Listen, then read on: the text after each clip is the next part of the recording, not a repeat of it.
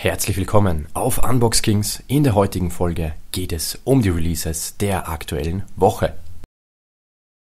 Partisan Bona Fide Partisan gehörte im Jahr 2006 zu den ersten Mitgliedern bei Rough Fiction.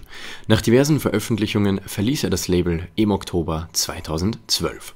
Bona fide kommt aus dem Lateinischen und bedeutet so viel wie in gutem Glauben bzw. gutgläubig. Bona fide kommt mit sechs Tracks und beinhaltet keine Features. Die EP kommt über Records DK und erscheint digital.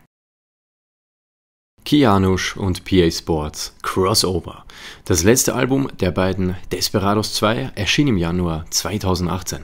Dass Kianush und PA gut als Team harmonieren, haben sie vielfach unter Beweis gestellt. Jetzt kommt das nächste Collabo-Album der beiden. Crossover kommt mit 13 Tracks, Features wurden keine bekannt gegeben. Das Release kommt über Life is Pain und erscheint als Box. KF Struggle is Real.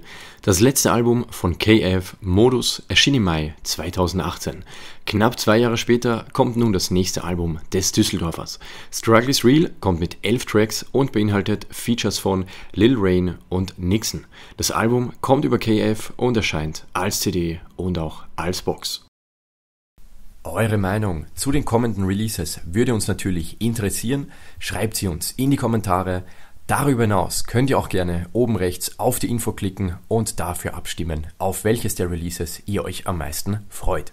Alle Infos und Links zu den Alben findet ihr wie immer unter dem Video in der Videobeschreibung. Dort findet ihr dann auch die Links zu den jeweiligen Unboxings.